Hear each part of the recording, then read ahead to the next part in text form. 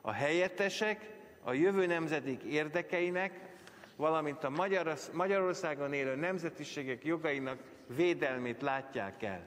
Nem figyelemmel kísérik, hanem ellátják. Kérdezem én, hogyan?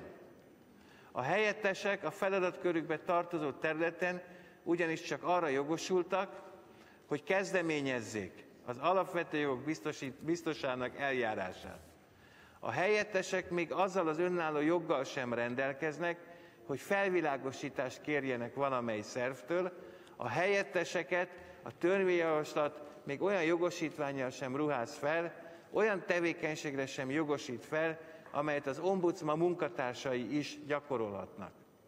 Fel kell hívnom a figyelmet arra, hogy akár önök, akár én is kezdeményezhetem az ombudsman eljárását, ugyanúgy, ahogy a helyettesek, a biztos erre vagy megindítja a vizsgálatot, vagy nem.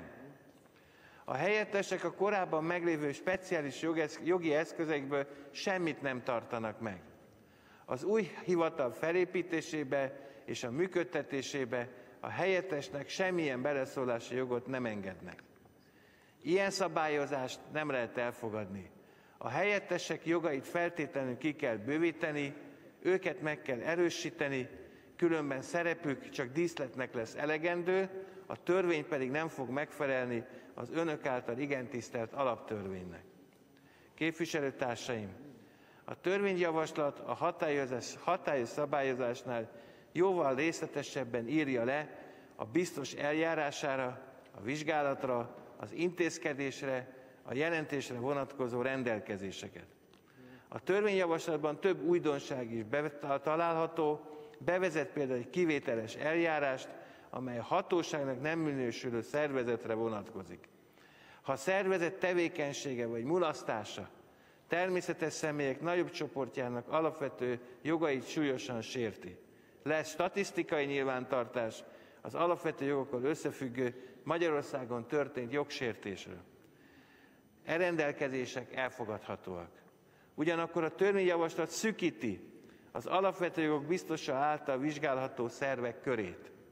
Kiveszi a javaslat a vizsgálható szervek köréből a választási szerveket, amelyek tekintetében a törvényjavaslat semmilyen indokolást nem tartalmaz, annak ellenére, hogy a választási szervek tevékenysége a választójoggal kapcsolatos visszáságokat eredményezhet.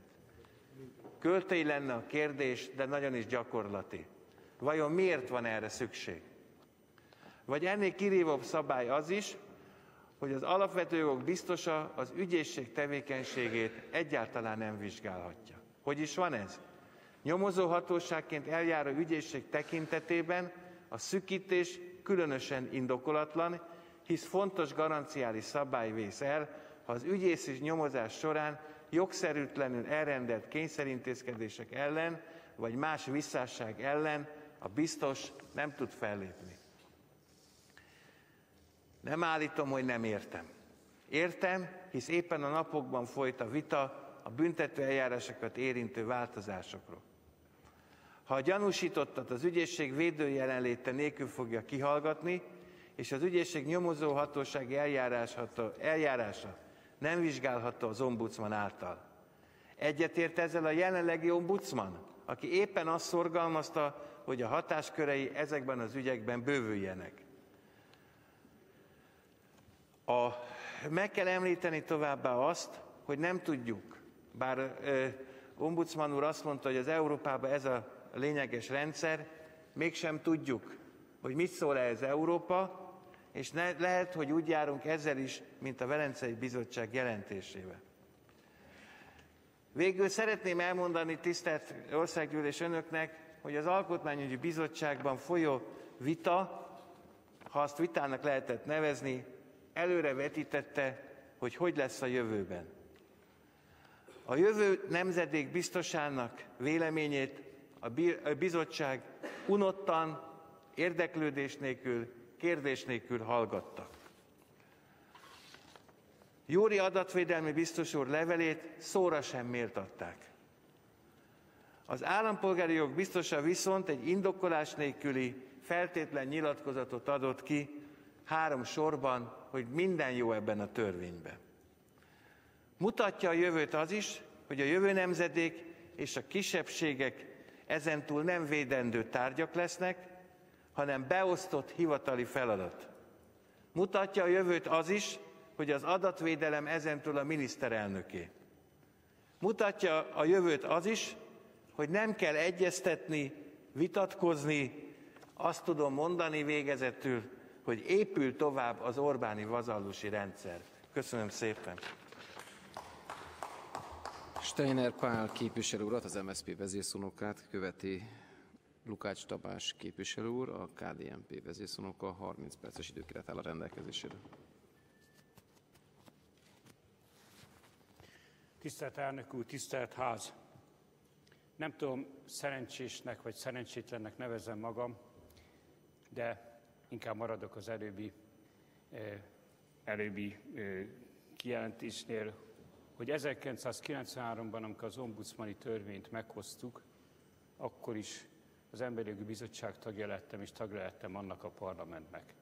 Érdekes volna elővenni az 1993-as törvény vitáját, és végignézni, hogy azok az aggodalmak, amelyek elhangoztak ott a vita során az elmúlt 18 év alatt, hogyan valósultak meg, hiszen mindig az alapvető kérdés, hogyha egy törvényalkotás célját legyen az módosítás vagy egy új jogszabály, megvizsgáljuk, akkor elsősorban azt a kérdést kell föltenni, hogy hogyan működött a jogrendszerre beépített új rendszer, megfelelő intézményi védelmi rendszert biztosított-e, és az egész magyar jogrendszer alkalmas-e arra, hogy az alapvető jogok védelmét a jelenlegi jogrendszerben ellássák.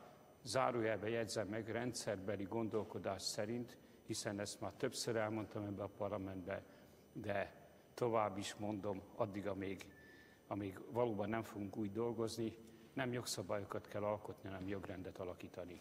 Meggyőződésem, hogy beleértve az esélyegyenlőségi rendszert, beleértve a, jog, a jogi hivatali rendszert, beleértve az ombudsmani rendszert és beleértve a rendőrségi panasztestületi rendszert, eh, végig kell minden intézményrendszert gondolnunk, és végig kell gondolni, hogy vajon az elmúlt időszakban, vagy az elmúlt években hatékony jogvédelmet megvalósítottak-e.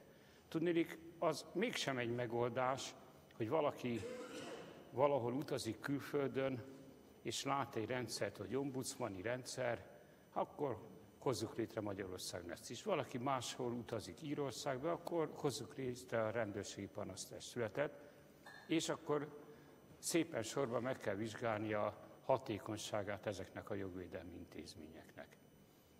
Na most a tisztesség kedvéért az 1993-as vitában többen féltettük ezt a rendszert, hogy egyszerűen nem képes rendesen meghonosodni, meggyőződésem, hogy a mai napig legalábbis a köznyelben nem találtuk meg azt a magyar helyes kifejezést, amit egyáltalán az emberek is elfogadnak, ombudsmanként nem fogják eh, csak eh, a, ezt a rendszert hívni, számukra idegen, és nem is nagyon értik, hogy ez a rendszer hogy működik és, és mi van bennük, de a, a, akkori aggodalmaink igazolódtak, minden lobby csoport megpróbált saját ombudsmant létezni, és most már nem is tudjuk, hogy a jogrendszerben, amikor oktatási jogok biztosáról beszélünk, ami nem erről van szó, de a köznyelven nyilván össze fogják kezelni, tehát minden terület próbál magának, mintha azzal bármit megoldana. Tehát ha van egy rendszernek biztos, akkor kipipáltuk, rendszernek biztos, van, itt a jogvédelem eh, rendben megoldódik. Hát a gyakorlat nem ezt igazolja. Ráadást mondjuk a jelenleg hatályos, 2007-ben jelentősen módosított ombudsmani rendszer nem is úgy működött, hiszen ha megnézik a hatályos törvényt, egységes hivatalként kellett volna működni. És bocsánatot kérek, de hát egy törvényalkotás, egy norma alkotás, az nem lehet személyfüggő. Tehát a, amikor fölvették azokat a kérdést, hogy egy rendszer jogvédelme sérül, ha e, nem önálló, hanem csak helyettesként működik egy, egy illető, akkor én azt gondolom, hogy ez nem lehet személyfüggés, nem lehet személykérdés, hogy azért legyen, mert egyszer, ha már hivatalt adott az Isten, akkor azt így meg kell tartani, függetlenül attól, hogy annak a területnek a hatékonysága milyen. És amikor 1993-ban a törvényt alkottuk, akkor éppen a svéd tapasztalatból kiindulva azt mondtuk, hogy az igazi fegyvere a, ennek a rendszernek, az ombudsmani rendszernek a nyilvánosság, és most nem akarok személyeskedni, tehát nem fogom kimondani annak az ombudsmannak a nevét, hogy a emlékezetem szerint igazából egyetlen ombudsman volt, aki képes volt a nyilvánosságot megfelelően használni. Nem arra való az ombudsmani rendszer, hogy, hogy doktori disszertációkat írjunk az asztalfiúknak, hanem arra való az ombudsmani rendszer, hogy igenis egy adott területen, amin a vizsgálatokat elvégeztem, a nyilvánosság erejével és a jó kommunikációval tudjam az állampolgárokat irányítani, és tudjam az állampolgárokat helyes irányba helyezni.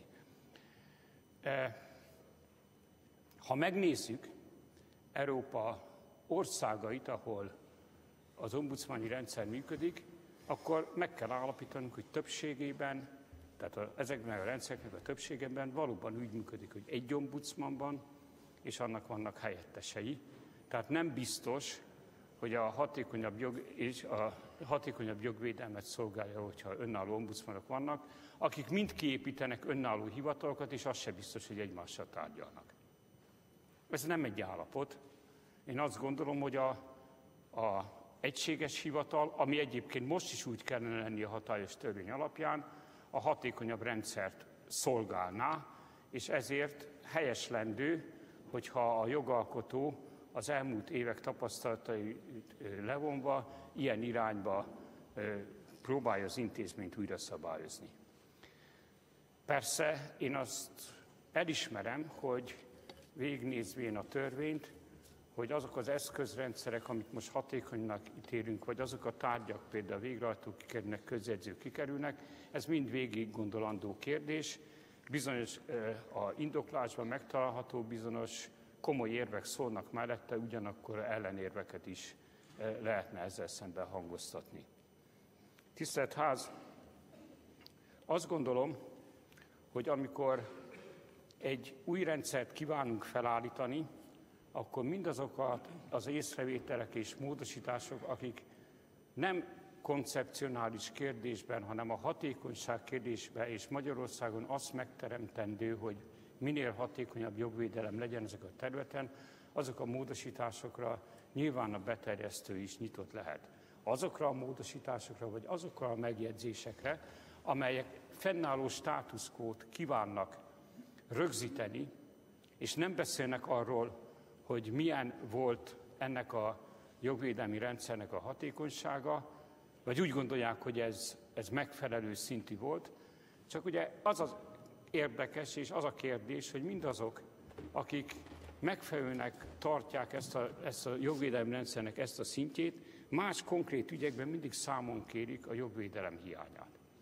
Furcsa ellentmondás, hogy egyik oldalról a jogvédelem megfelelő szintű jogvédelem hiányát kérem számon, másik oldalról pedig azt mondom, hogy a státuszkót védve ne csinálj semmit, hagyd békén az egészet, és bocsánat, tehát semmiféleképpen el szeretném kerülni, mert azt gondolom, hogy korábban vagy jelenleg működő ombudsmanok között is csak nagyra becsülésemet kell kifejezni többeknek, kiváló szakmai munkát végeznek. Attól még nem biztos, hogy alkalmas ombudsmani teendőre, tehát azért mondtam, hogy a 90, a törvény megalkotása óta folyó szakmai munkába volt egy ombudsman, aki fölismerte, egy egyébként szülőatja is volt a 93-as törvénynek, aki fölismerte azt, hogy a kommunikációs, kommunikációs eszközéket a saját érdekében milyen módon lehet használni, milyen módon kell használni, és ez képes volt hatékonyan használni. Ha megnézik a, mondjuk az újságok, újságokat abból az időből, látszik, hogy mennyivel gyakortabban és mennyire erőteljesebben szerepelt. El tudta mondani a közvéleménynek, hogy mi történik ott, vagy mi az, amiben ő kifogásokat terjesztett elő.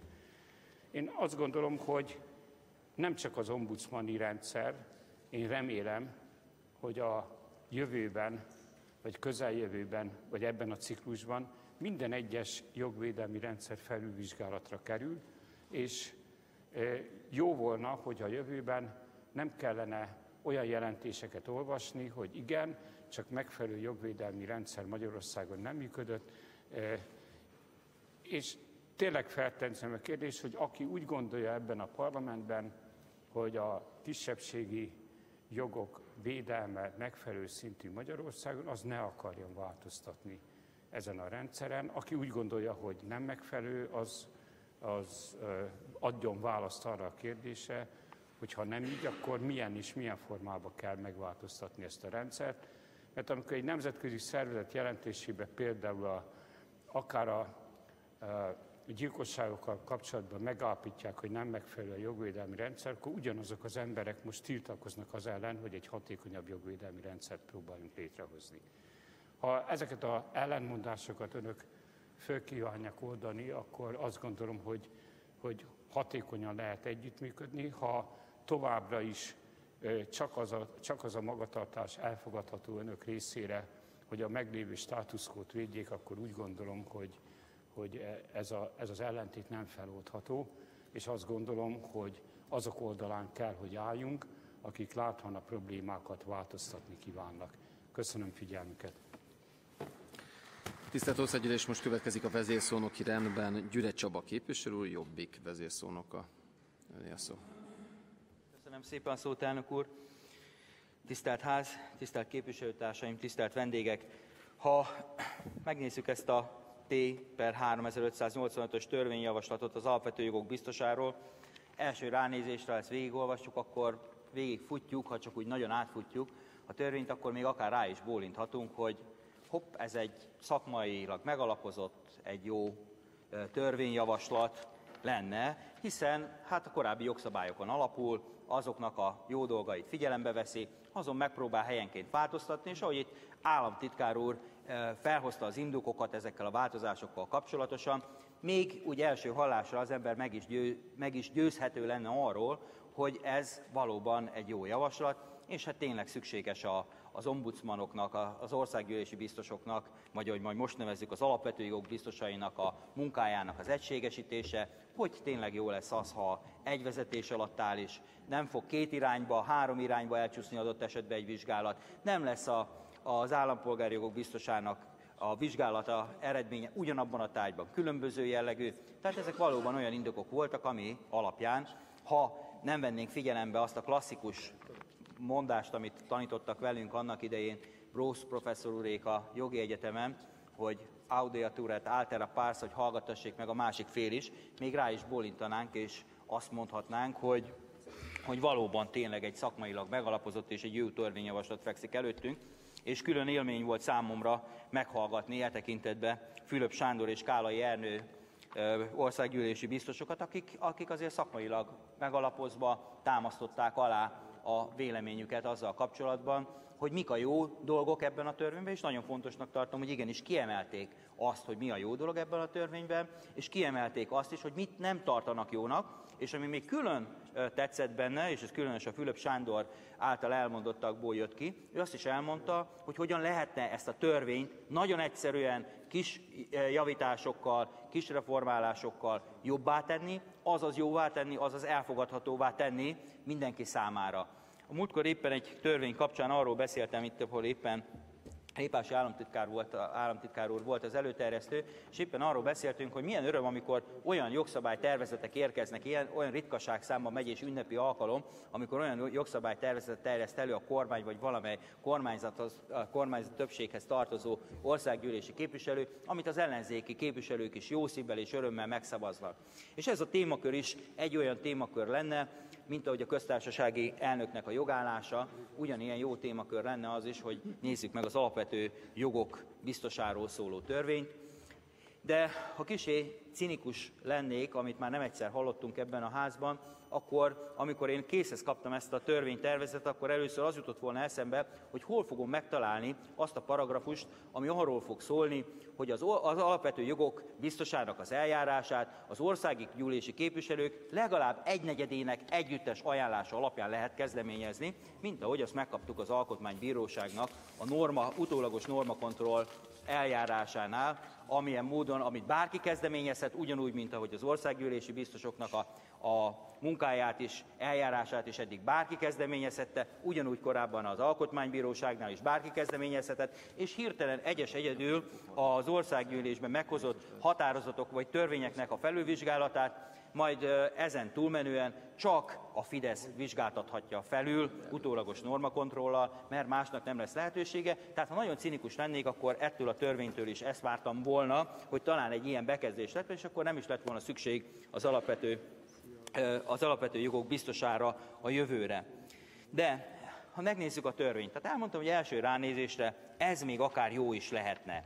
Miért is lehetne jó? Azért, mert azokkal az elvekkel, ami ebben a törvényben megfogalmazódik, amelyeket egyébként a korábbi jogszabályokra alapulnak, azok jók. Hiszen felsorolja szépen a törvény az elején azt, hogy kiket illet meg ez a megkülönböztetett figyelem, akikre az alapvető jogok biztosának különösen oda kell figyelni, ezek gyermekjogok, a jövő nemzedéknek az érdekei, a Magyarországon élő nemzetiségek jogai és a veszélyeztetett társadalmi csoportoknak a jogai. Nyilván ezek olyan témakörök, amelyek az utóbbi nem csak évtizedekben, hanem már évszázadokban is felhívták erre a figyelmet, és igen, itt mindenki, majdnem mindenki utalt az előttem felszólalók arra, hogy honnan is ered ez a jogintézmény, hogy Svédországból indult ki, és már 200 éves hagyománya van, több mint 200 éves hagyománya van Svédországban, és bizony, amikor úgy kimondják a svédek a maguk ombudsmanját, és erről beszélnek, hát magyar embernek nyilván ebbe bele törik a nyelve, és elég nehéz azért ezt elfogadtatni, hogy miért kell nekünk egy ombudsman itt Magyarországon, ami a svédeknél egyébként jól működött, és bizony, amikor megtörtént az ominózus ma rendszerváltásnak elhazudott 21 évvel ezelőtti történet, akkor, akkor azt gondoltuk, hogy ez a rendszer, ami 1990-ben elvileg bevezetésre került, és 93-ban majd gyakorlatilag is bevezetésre került, hogy ez itt Magyarországon jól fog működni, és bizony ez meg is honosodott ebben az országban. És emlékszem arra az időre, én ugye nem voltam parlamenti képviselő, mert jó egy éve vagyok csak, de bizony emlékszem arra az időre, amikor igenis büszkék voltunk arra, hogy Magyarország az egyetlen ország az egész világon, ahol a jövő nemzedékének saját egyéni országgyűlési biztosa van, és milyen, példamutatóak, milyen példát mutatunk egész Európának és az egész világnak, hogy nálunk ez önállóan működik, ez önállóan megvalósult, és hogy milyen jó eredményeket hozott, mindig erről beszéltünk. De ez még mindig az, ami nem lesz jó, úgyhogy inkább előbb arról beszélek, ami még jó ebben a törvényben. Tehát ezek a témakörök, amire a megkülönböztetett figyelmet kell fordítani, ez mindenféleképpen jó. A veszélyeztetett társadalmi csoportokat e, nyilván a, a, az országgyűlési biztos, illetve az alapvető jogok biztosa, ennek a legfontosabb feladata lesz ezeknek a figyelemmel kísérése. Itt e, a nemzetiségi jogok, a nemzetiségi jogok, amióta a, tör, a világ, világ, a történelem, történelem, ismerjük, hogy a nemzeti jogi jogokkal mindig is probléma volt. Itt külön fontos az, hogy legyen egy olyan, egy olyan alapvető jogok biztosa, aki ezzel fog foglalkozni, és nagyon jó volt az a példa, amit a Kálai úr is elmondott, hogy ne a, az alapvető jogok biztosa ellenőrizze majd saját magát, illetve mind a két felet ő vizsgálja ki, és az alapján hozzon ő majd döntést. A tevékenységekkel kapcsolatosan nagyon szépen felsorolja a törvény azokat a jogokat, jogköröket, amelyeket az alapvető jogok biztosa, illetve azoknak a helyettesei fognak majd, majd ellátni. Tulajdonképpen ezekben is a régi jogszabályra nyúlik vissza, és, és azokat a feltételeket fogalmazza meg, a, a jogi végzettség, a megfelelő gyakorlat, a 35. életév betöltése, és a többi, és a többi, ez mind, ami már a korábbi jogszabályban is megvolt.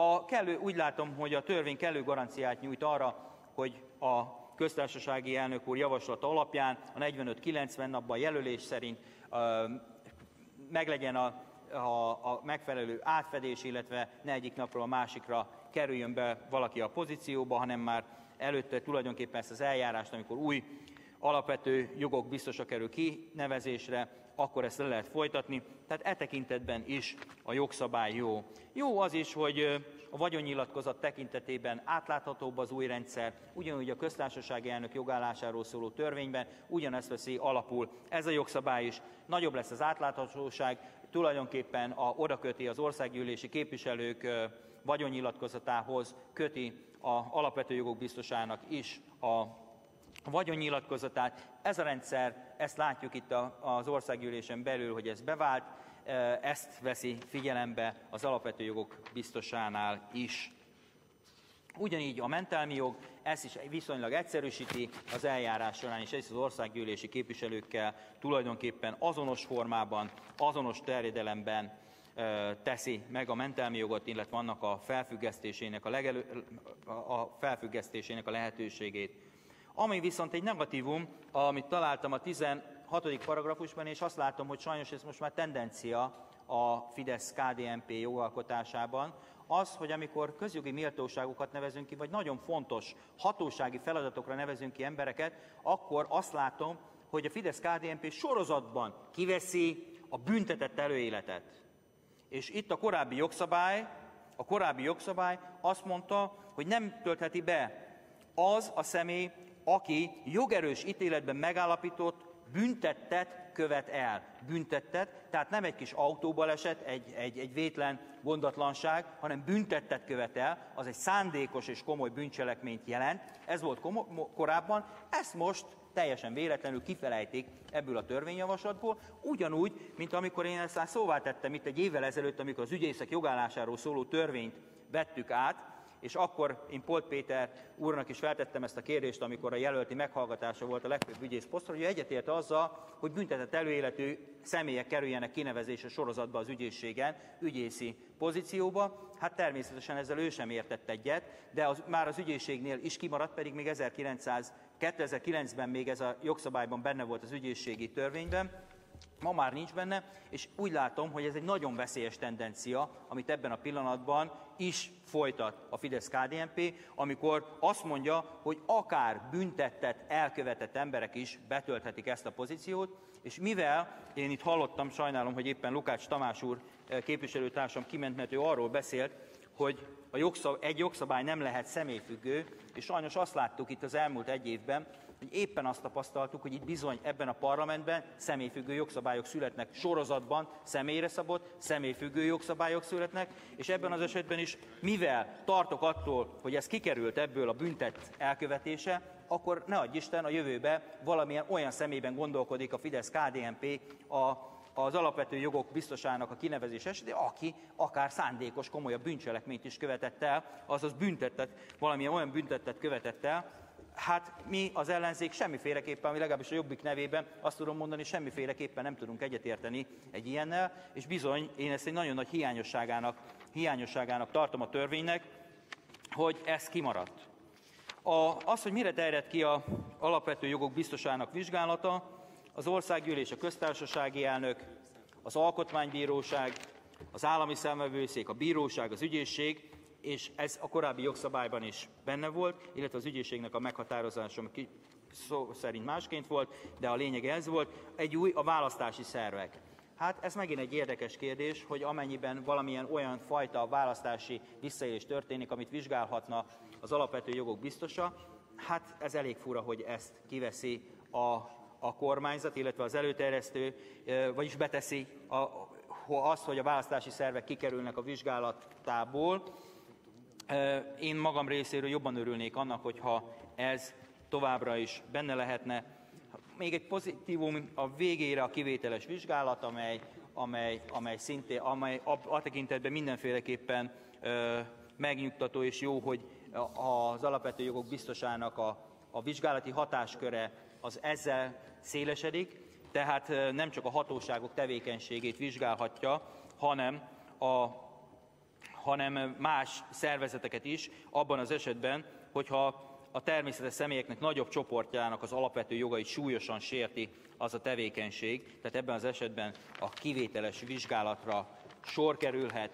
Tehát körülbelül a részleteiben ennyit mondanék el a törvényről, és kicsit belemennék abba a kérdésbe, amely, amely, amely itt alapvető szinten fölmerült, hogy ez a jogszabály e, alaptörvény ellenese, vagy sem, hiszen több felszólaló hivatkozott erre a felszólalásában, hogy ő ezt a törvényt, ezt a törvény tervezetet alaptörvény ellenesnek tartja. És ha vizsgáljuk a, az alaptörvénynek az idevágó rendelkezéseit, akkor valóban kétségek merülnek fel bennem is a, a tekintetben, hogy valóban az alaptörvény rendelkezései azok azok hatályosulhatnak-e, megvalósulhatnak-e ezen a törvényen keresztül, vagy pedig azzal ellentétes szabályozás lesz. Az alaptörvény, az alaptörvény 30. cikke egyértelműen kijelenti, hogy a helyettesek a jövő nemzedékek érdekeinek, valamint a Magyarországon élő nemzetiségek jogainak védelmét látják el. Ellátható-e a védelem